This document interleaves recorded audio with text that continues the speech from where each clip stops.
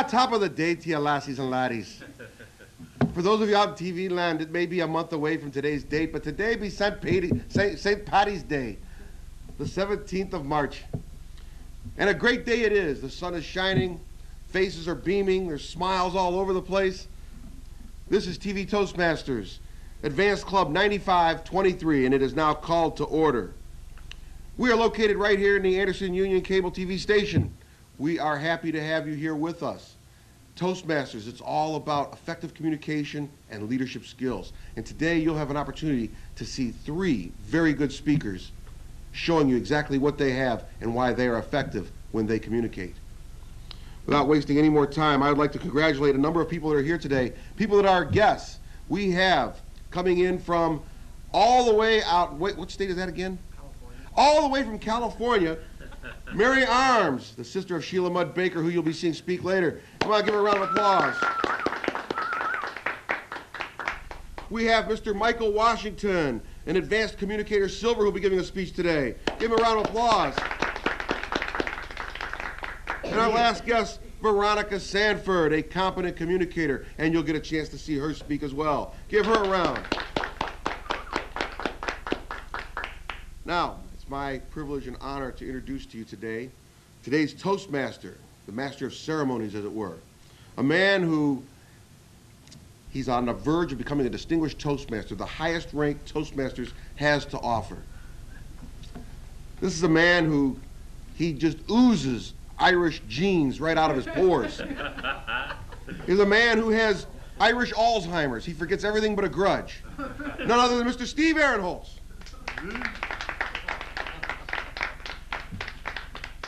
Thank you, Mr. President. My, that's a stretch as far as truth in advertising. With a name like Ahrenholz. the only thing that's probably green today is my shirt. well, welcome to our Toastmasters meeting in March of 2007, and this show will be broadcast in subsequent months. You'll see it first starting in April. But we're glad to have you here today. I'm glad to have our guests with us. And what I'd like to do at this point is start our meeting off with our first presentation by our word power person, Carol Kormalenk, Distinguished Toastmaster. Carol, come up here and give us your word of the day. Thank you, Mr. Toastmaster, fellow Toastmasters, and our most welcome guests, and especially our viewing audience at home. The reason we have a word of the day is to increase our vocabulary. And I like to have something. Today is the Luck of the Irish Day, and lucky, and so I picked a word that is very complimentary to that. It's serendipity. It's a noun, and it's the faculty of making happy, happy or interesting discoveries unexpectedly or by accident. For instance, you might say it's serendipity when the farmer was looking for a needle in a haystack and found a blonde instead.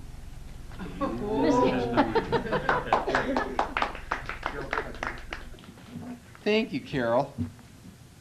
And as you can see, between the two of us, Carol is also our representative for the wee folk today. what we're going to start next is our table topics. Table topics gives us the opportunity to practice impromptu speaking. The participants in table topics are called up to the lectern and they have the time it takes them to get from their seat up to the lectern as far as preparation is, is concerned. So you can see that this actually represents real life very well. No preparation time. Our table topics master for today is Rita Reece, competent communicator and competent leader. And with that, help me welcome today's table topics master up to the lectern, Rita Reece. You, Rita. Thank you very much, Toastmasters.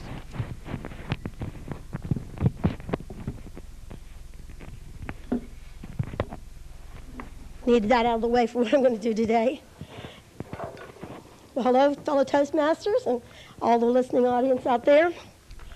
And like they've said, this is actually St. Patrick's Day. So, as part of my table topics, I thought I'd add a little bit of flavor of St. Patrick's to it. First off, Steve, Steve Opitzel, uh, could you come up and be part of our uh, table topics.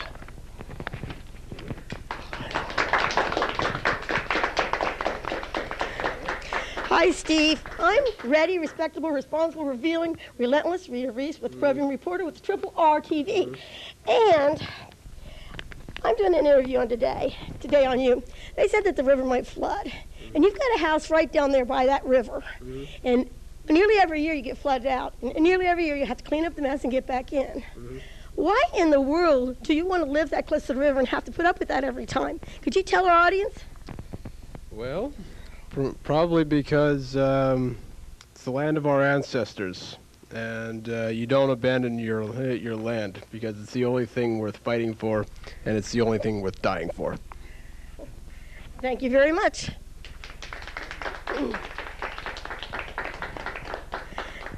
My next interview is going to be with Carol Cornlick. Welcome, Carol. I'm ready, responsible, respectable, revealing, relentless Rita Reece with roving reporter with the Triple R TV. And serendipity has it with you. You found out today that you're having quadruplets. Oh my gosh. I thought you were past that. But apparently you and Joe are doing more than kissing the Blarney Stone. How what are you going to do to handle this? What are your what are your thoughts about this? Please tell us. Well, Rita, roving reporter, relentless. You had one, two pieces of information. One is a little inaccurate. I am not having quadruplets. My dog is, and I am going to sell these pups, and I'm going to make thousand six hundred dollars selling these four pups because they are the show dogs, and people will want these puppies, and it won't be any sweat off of my me from having these four quadruplets. so you did you were correct that they are in the offing, but it's not me that is going to be delivering them. I will be delivering them to other people as they buy them and charge them from three to four to five hundred dollars depending on which one they like the best. And I'm waiting for my one minute green sign here so that I can be still. Okay, here you go, roving reporter. Thank- Thank you very much. Uh, that was a relief. For my next person, I'd like to interview. Let's see. What about Steve O. Aronoff? Hello, I'm ready, respectable, responsible, revealing, relentless, Rita Reece, Reverend reporter for Triple R TV. And I understand that you had a harrowing experience last week. That you were up in a hot air balloon with a couple other people, enjoying the view, and all of a sudden, it stopped working, and you started going to the ground. The people on the ground were screaming and screaming and screaming, and you were going faster and faster. But the last minute, the, the operator finally got it under control. You had a rough landing, but what were you thinking when this was going on? Can you tell us what it was like to be in this position? Well, it was quite hair raising because as we're plummeting towards Earth, everyone's hair is standing up. You'd think that a gondola full of six people, there'd be plenty of hot air to keep us aloft. But unfortunately, we did not have anywhere near the hot air that we really needed. I was so thankful when the operator for the hot air balloon was able to get that burner going. I told him, I said, I will buy you all the propane you need for the next year and a half. I don't care if you fly every day.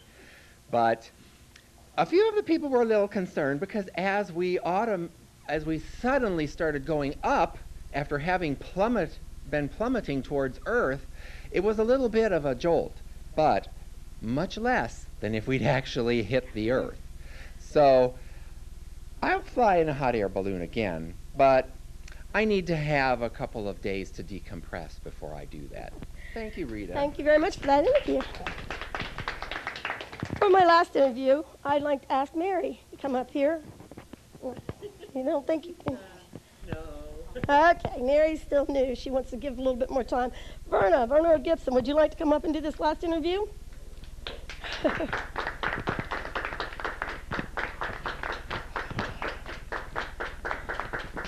Hello, Verna. I'm ready, responsible, reliable, relentless Rita Reece, Reverend reporter for Triple R TV. And I understand that you won the biggest jackpot pot in the state of Ohio in the lottery. You have $100 million. This is so much money. What in the world are you going to do with all this money? Can you tell us a little bit about what you plan to do? Wow. Well, you know, th- this has been uh, just kind of uh, breathtaking knowing that I've won all this money. A hundred million is, is a lot. And um, I realize I'm going to have to give some of it back to the government. But, um, you know, I have been uh, thinking very seriously about this as to what I'm going to do. There, there's a lot of possibilities. Of course, there's always charity. You know, that, that can work. Uh, I could give some to my children. That could work. I, I could um, I could take a lot of trips, you know, and I think that that's going to be tops on my agenda is to take take some trips. But how do you spend hundred million dollars on travel? So so it's still kind of up in the air, and um, of course I can pay off uh, some of my debts, and I, I'm I, I'm going to buy uh, a few new cars, a couple Ferraris, and you know maybe maybe uh, you know a Porsche or two, something like that, and um,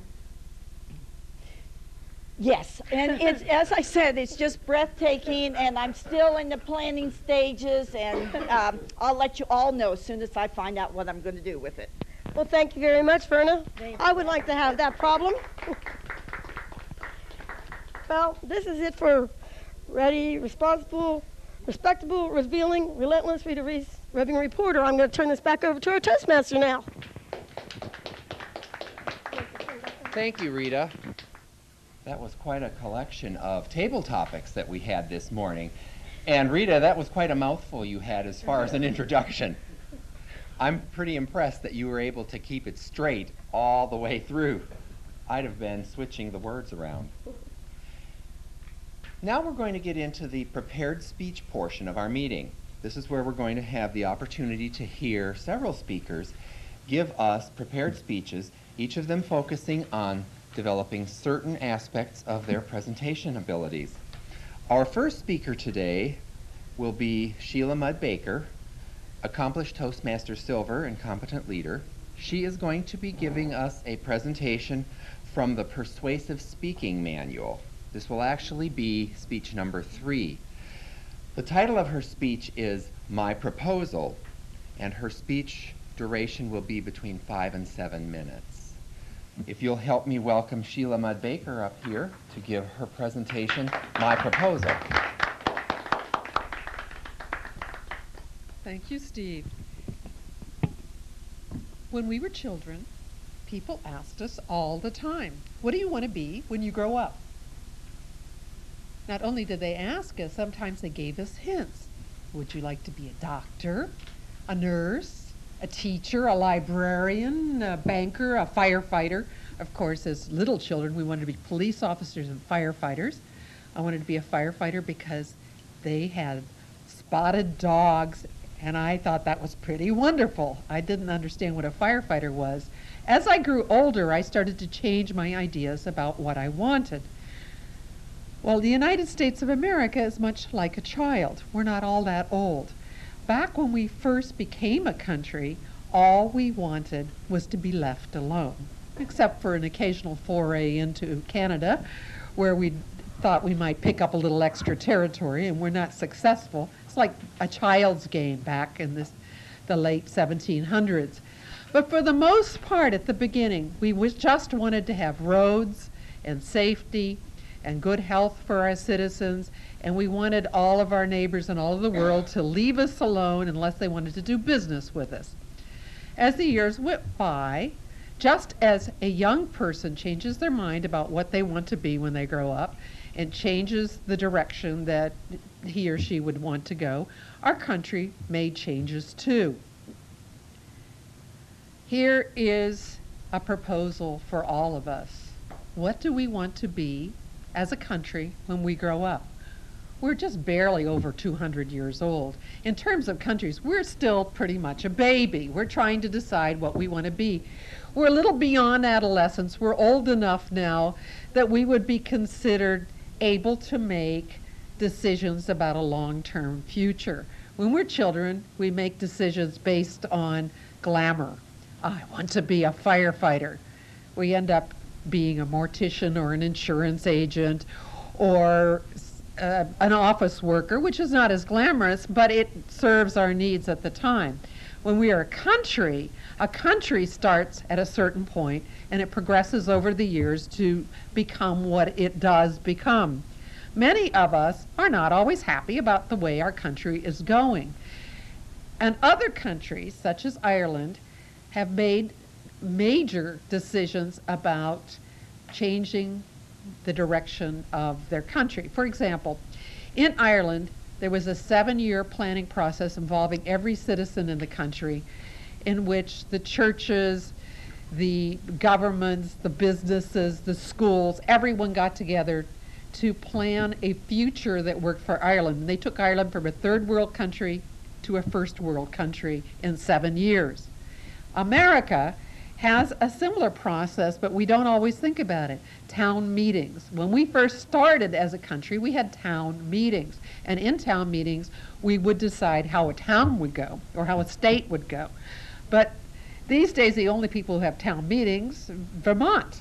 No one else has it. But it's time for a national town meeting. My proposal is that every town in the United States have town meetings, a series of town meetings over the next couple of years to decide what direction do we want to go? Who do we want to be? And if we don't make those decisions for ourselves as a group, someone else is going to make them for us. It can be the economic market, it can be the political environment, it can be the world deciding to block us out or or change the way that they deal with this. We must make a national political decision on what we're going to be doing for the next 50 years. If we don't do it now, someone else will do it for us. So, on the St. Patrick's Day, I believe that we should consider the, the Irish model, which is everyone in the country who could possibly help make a decision needs to voice their opinion. First, at the very, very local basis, that might be a neighborhood level, and a city basis, on a state basis, on a national basis, until there is consensus about where our country is going. Do we want to grow? Do we want to take in Puerto Rico as a state? Do we want to drop certain countries as our friends? Do we want to add certain countries as our friends? Do we want to change our educational system? What is it we want from the long term? Do we want to be the friend of all or the police officer of all the, of the world? What do we want? So, if we really care about what happens to the future, to the generations that are coming behind us, now is the time to involve those young children as early as six years old, the teenagers, the people in their 20s, 30s, 40s, 50s, 60s, 70s, all the way up past their hundreds involve every single person in America and start thinking about where we want to go, what we're going to do, because I think it's time that we grow up. America, let's get going. Mr. Toastmaster?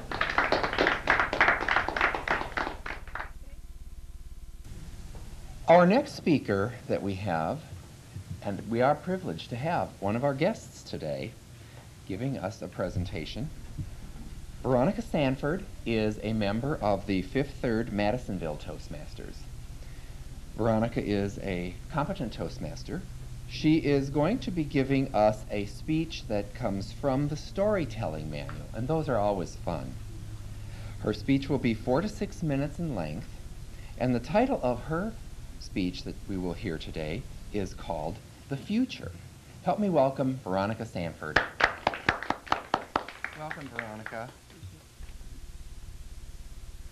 Welcome, fellow Toastmasters, honored guests, and our viewing audience. My first memory is of my dad playing with all of us, six children, in our living room. And I, being the youngest, decided to go back into our back bedroom closet and hide. Had I been the oldest or the only child, my dad would have come and found me. I know that. But instead, I waited and I waited and I waited, and it seemed like an eternity. And I knew he wasn't coming. I was abandoned. And I came out of that back bedroom closet and I looked at my dad, and I looked at him playing with the other five kids, and I knew that very likely he didn't even notice that I was gone. I was crushed. I was heartbroken. What I decided at that moment is I was going to be a competitor. I was going to stand out. And ever since that day, I've been competitive with my classmates, with my family members, with everyone. I was always the first to raise my hand in school. It's made me successful, and I'm not sorry for that. The other ha- thing that happened when I was very young is my mom was driving the six of us somewhere, I don't remember where, in a Woody in a station wagon. And my younger brother, actually he was my second brother, but he was still older than me, was mouthing off. He was a joker, and he was mouthing off at my mom. And she stopped the car. She pulled over. She had him get, get out, and she drove away. What that taught me, I was four, and I was petrified. I said, I don't want my mom doing that to me. So I learned at that moment that I was going to be nice. I'd better be nice because you never know what happens. People can take unexpected behavior if you're not nice. I want to let you know that I know now that my mom and dad love me very much, without a doubt. My dad probably thought, she's okay, she probably went to the bathroom, she can take care of herself. And it was true. I could take care of it myself, and I always have. And my mom, six kids, a 10 year old boy, how else are you going to teach him the lesson that he can't keep mouthing off to his mom? Nothing bad there. But what I want to say to you is that we all have choices. We have choices about what we do in our day to day behavior, and children make decisions about who we are and who they are based upon our behavior. But we also have a choice. We have a choice of decoupling our story about what happened and what actually happened, and possibly take a different interpretation.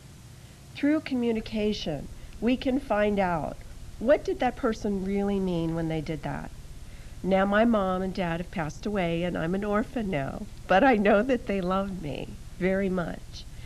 And I also think that if we look at who we are being in our lives, not what we have, it's a complete reversal of what we normally think. Normally we think, if I do this, then I will have these things, then I will be happy. But instead, consider the possibility that I could be happy and I could do these things and then I could have these things. But regardless of whether or not I have these things or not, I'm still going to be happy. So, what I'd like to do is say that right now, I know where my past is, and I know who I am right now. I'm evolving. I'm not who I am going to be 10 years from now, God willing. But I also say our future is completely undetermined. we can almost choose our future and live into it instead of having our past determine who we will be in our future.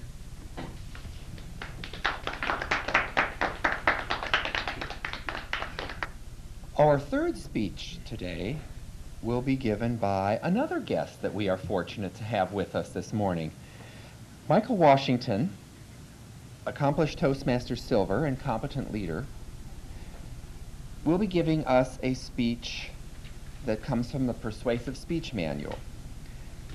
This is the, actually, I, excuse me, it's the Persuasive Speech from the Public Relations Manual. And the setting for his speech is in front of an audience of 500 high school students. Talk about chaos. This is in an auditorium, which furthers chaos. but his message is focused on the students staying in school, completing high school, and after graduation going to college. His speech is entitled, You Can Too. Help me welcome Michael Washington. Welcome, Michael. Thank you. Good afternoon, fellow Toastmasters and guests. The other day, I had a chance to talk with my auntie, and we had a chance to get caught up on past events. She was telling me a story about her son. One day she woke up, she walked into his room, walked over toward the bed, nudged him on the shoulder. Wake up, son. It's time for school. Wake up. And she walked out of the room and headed toward the staircase. And she noticed he hadn't got out of bed, so she turned around and looked in the room and decided to go back in. Walked over toward the bed. Wake up, son. It's time for school. Let's go. So her son sits up in bed. He turns to her and says, Mom, I'm not going to school. She said, Why not? Because there's over a hundred teachers, a hundred administrators, a thousand students at that school, and I've been trying to think of one that likes me. She says, Well, I understand how you feel, son. But that's not a good reason to avoid school today. So he said, Mom, you heard what I just told you. Why should I even go? She says, I'll tell you two reasons why. One, you're 45 years old. and two, you're the principal of the freaking school. so come on, let's go, son. Folks, does everything in life happen to you? Or do we make it happen? Picture this. Normally, there's a lot of things pulling at you. There's a lot of things pushing you, such as your parents. You have your teachers. You have homework. You have tests you have to take. You even have pop quizzes. And you're on your way to school. And you're thinking about all the things you need to take care of for the day. And you recall you have a quiz you have to take. So you go into the room, you take the quiz. After the quiz is over, you walk out of the room, not really sure how well you did on your quiz. Obviously, you get a text message from your friends. You read the text message, it says, show up in the gym after school. Finding the last bell rings, you go to the gym, and there are your friends. You walk up toward them, they're standing there, and they say to you, you are not down no more. You are no longer part of the group. We are cutting you off. Mm, mm, mm. That's tough. How do you deal with that? So before you can ask them what happened, they all walk away. So you head home. You explain everything to your dad. And your dad knows that's tough. He knows that sucks. But being the type of dad that he is, he tells you, pull yourself together.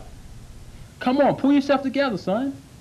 Because in life, there's all types of rejection. There's all types of frustration. There's all types of pressures. But you've got to handle those obstacles. You've got to face your challenges. Because these things will build your character. These things will help you to be the type of person you're going to become.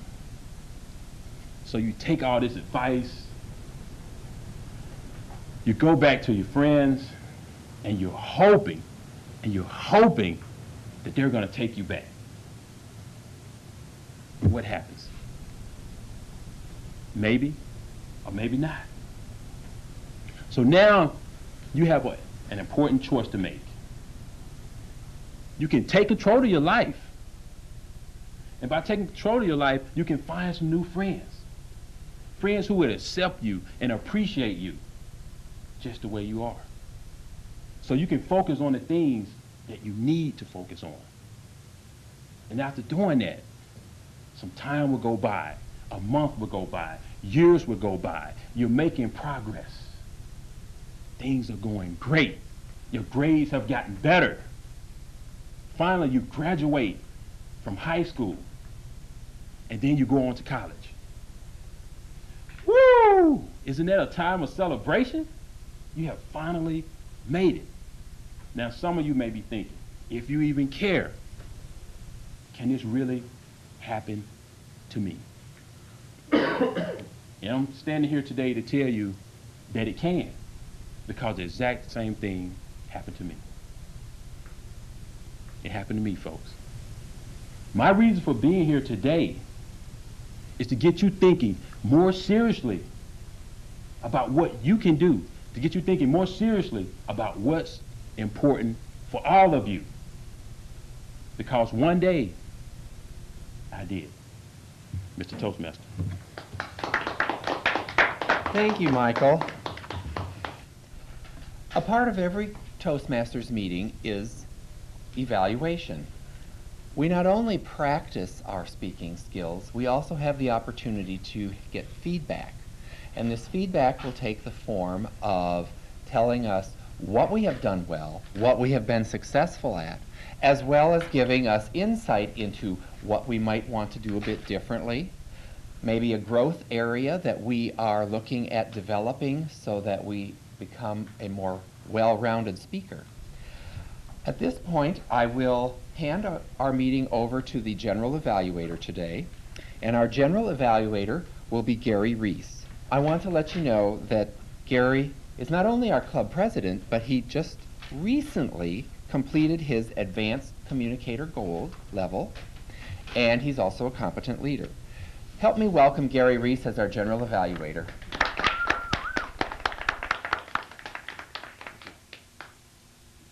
One of the greatest things about Toastmasters International is we give you instantaneous feedback. Not only did you just get up here and do something, but we get right off the bat and tell you what it was you did, how well you did it, what could have used some help. We explain to you a better way to possibly do it, another way to consider it.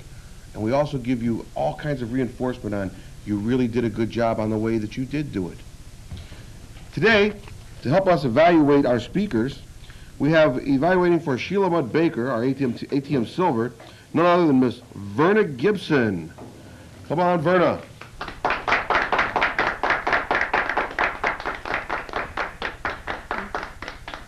Gary. Sheila, I really enjoyed your speech, your proposal. It was so good. It's so well organized. I think it's one of the one of your very best. It was absolutely terrific. The proposal's objective, as I see it, was what do we want to be as a country when we grow up? If our leaders do not know our history, if they don't read history, they don't think about what has happened in the past, well, we are going to repeat those mistakes, obviously. If we fail to plan, we plan to fail. And I, I have a uh, feeling that many of our leaders are going in that direction, unfortunately. So, um, but as a country, we need to grow up. We need to plan ahead, think about what we want to be in the future. This is a great proposal. Sheila has proposed that every town in this country should have town meetings. She said that, that um, Ireland operates under this, uh, if I understood that right, that Ireland at least has used this in the past. And I'm sorry that I, I might have missed a little bit of that. But I know that you said that, that Vermont actually still practices town meetings. Sheila says that every citizen in this country should have a voice. It should be required to voice their opinion.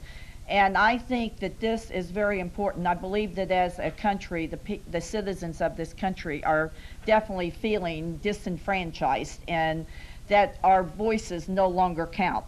So this is a, a very important proposal, and I hope that it will go to the highest levels of government, or that our new leaders, as we go into our elections, that our ne- new leaders will look at this. This obviously was um, directed towards the audience, and it's something that the audience needs to hear. It's something that we can all think about. If we are citizens of this country, then we we need to be able to voice our opinions. It's just like uh, planning our own future, or planning for the future of our children. The con- our country needs to plan for its future also. Sheila says that if we don't decide, someone else will. We must plan long term. If you fail again, and this is my words, I don't believe Sheila used these words, but I'm paraphrasing what Sheila was probably saying that if we pl- fail to plan, we plan to fail. She had a very well organized and logical proposal. She had a good opening with humor, which I also enjoyed. Uh, she had some interesting facts and a very good wrap up. And again, she threw in some humor throughout her proposal, and that helped to also uh, keep our attention, and it's a way that we can relate it to ourselves at times.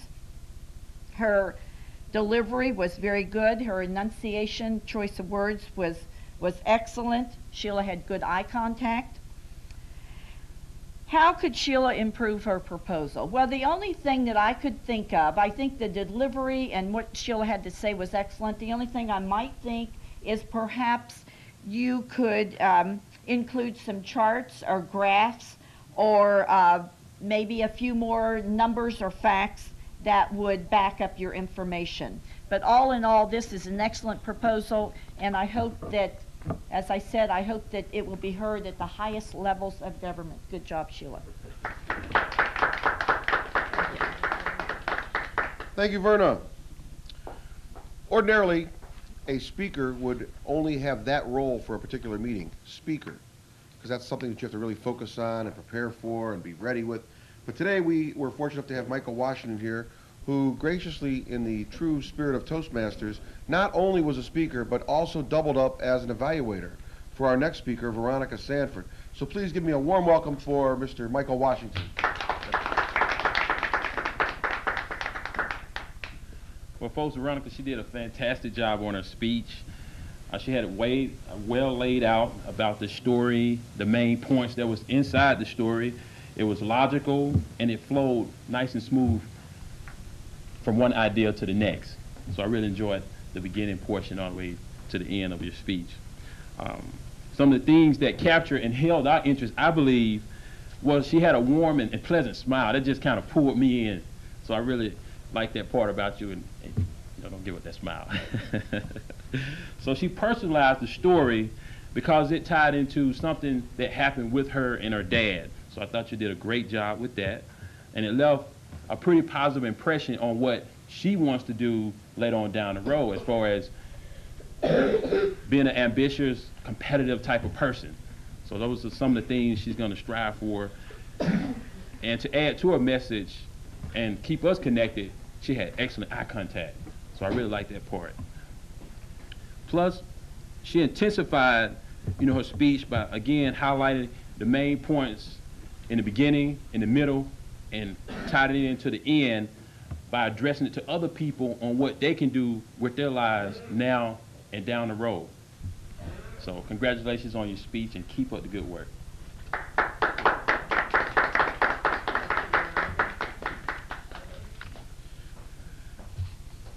Our next evaluator is a bon vivant, a man about town, a man who's a Loop Division governor, and my job up here is to make him feel welcome.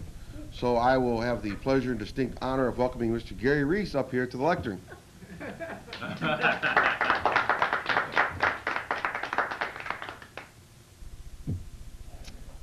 Guests, Toastmasters, and especially Mr. Michael Washington.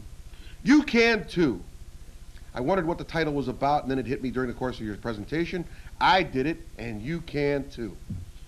It's not serendipitous that I was asked to evaluate your particular presentation today, because uh, as a motivational speaker, I talk quite a bit about having character, integrity, being dependable, reliable, responsible, that your, that your decisions ultimately have consequences and repercussions, be they positive or be they negative. And you pretty much captured that today with your presentation about the uh, alternatives to what will happen if you're not careful. Or if you are careful, then good things will happen as well. How convincing was the speaker's argument on his or her viewpoint? I thought it was good. You showed nice compare and contrast on life choices, life decisions. There are consequences and repercussions. How effective was the speaker's emotional appeal? You used a combination of love withdrawal versus achievement. Here's the, here's the, the, the whip, here's the carrot. I liked it. How closely did the presentation relate to the audience's interests? For a room full of students or a auditorium full of students, I thought this would have hit home powerfully for them. For me, I've already made these life decisions, so you didn't really convince me to change my opinion, but as a student, I probably would have. Comment on the smoothness and effectiveness of the talk. I thought the joke was appropriate at the very beginning. The only problem was the segue between the joke and the transition into the body of your speech was a little rough. You might have been able to tie it together a little better by saying, and now let me tell you, children, the very same thing that happened to that principal with his mother could happen to you very soon. As an example, it needed a little bit of tying and interweaving together, some stitches to pull it together. How did the visual aid contribute to the speaker's per- persuasive effort? This is my one large question mark. In this, in this particular presentation, you were supposed to use at least one visual aid to help us drive home the point. I didn't see a visual aid, so I don't know where that was. It was lacking. Always read the book, read the manual, and pound home the objectives. And I'd also like to say, that, well, I'll say that as my, my general evaluator remarks later. How persuasive was the speech? On a 1 to 10 scale, I gave you a 7. I thought you used an excellent metaphor. It happened to me. It could happen to you too. Did the speaker change your opinion and how? Again, I was already in agreement, but have, were I a student, I probably would have had to agree with you. What else might the speaker have done to convince you? I think I would have pounded home the issues of character, integrity, morals, ethics. That if you build your character, if you say, if you do what you say you're going to do, you start something and you finish it and you give 100% to get there, that people will respect you instead of fear you, and that you will accomplish things in life that will make you a success. This is an example of what I think you could have done to pound it home just a little bit more forcefully. Again, this was a great presentation. I look forward to hearing your next one. Thank you very much.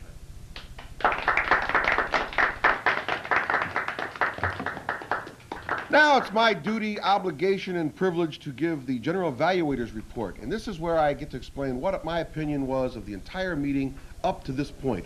Everyone who's been to the lectern, at this point, I'm going to tell you what all you did, how well you did it, and what you could have done to do it better. Now, you like that for grammar?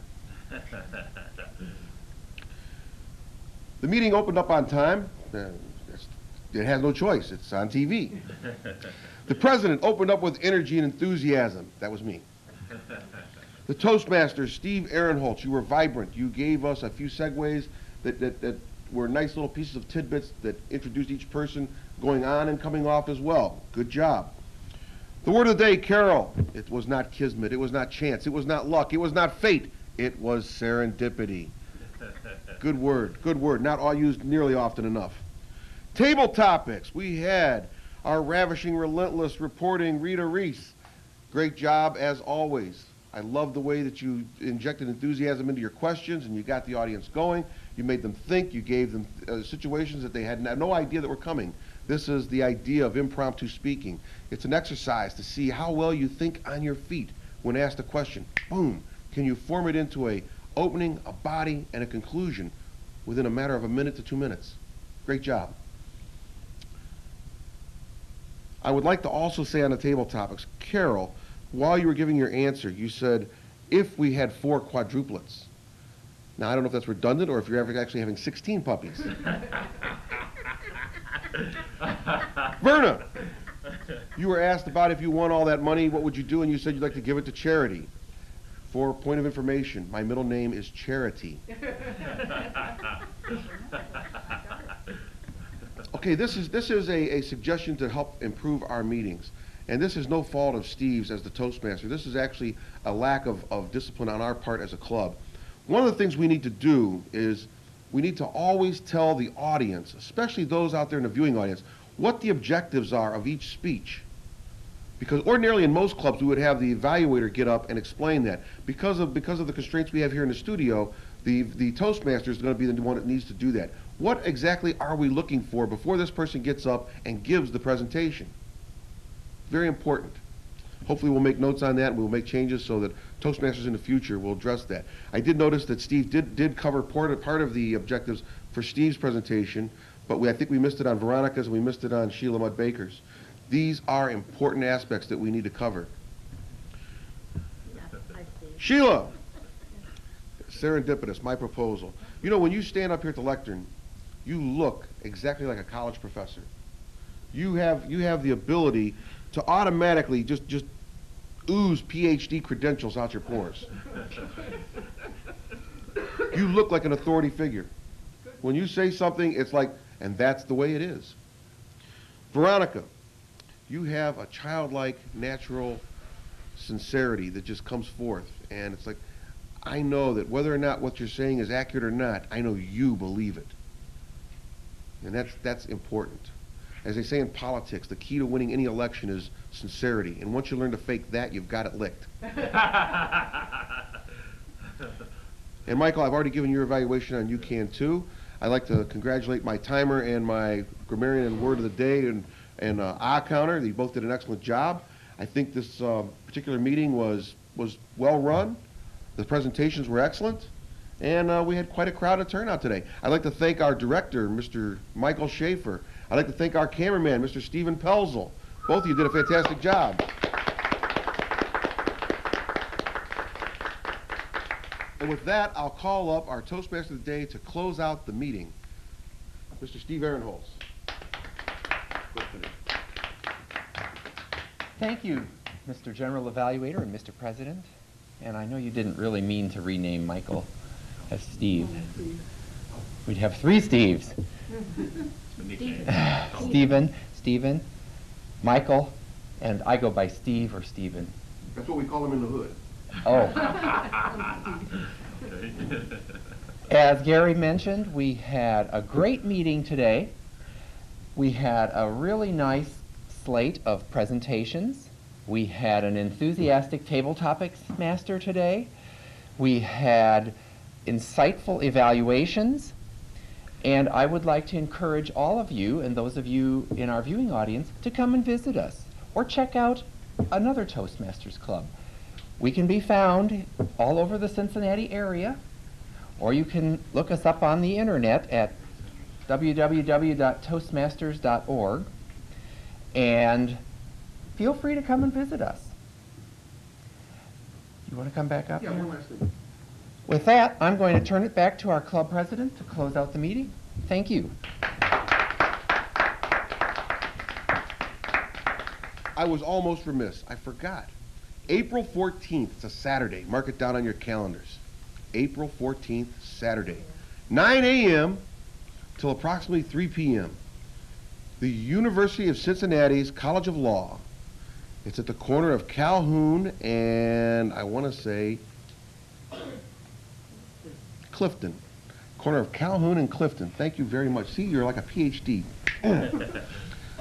there will be a division, dual division, international speech contest and international evaluation contest. You don't want to miss this. These are the best speakers in the entire division, all around Cincinnati and northern Kentucky. They will all be coming together and battling it out head-to-head competition. They can possibly go on to the district, the winner will, then on to the to the region, and then on to the international to be to be crowned as the world champion of public speaking. This is your opportunity. It's free. There'll be a free breakfast. There'll be a free lunch. Come. You will see signs all over the place. Just get to the College of Law. There will be people around and signs showing you which room to go to. 9 o'clock Saturday morning, April 14th. You don't want to miss it. For those of you out there in TV land, this is your opportunity to see what Toastmasters is all about. Thank you very much for joining us today. And with that, we adjourn Toastmasters Advanced Club TV right now.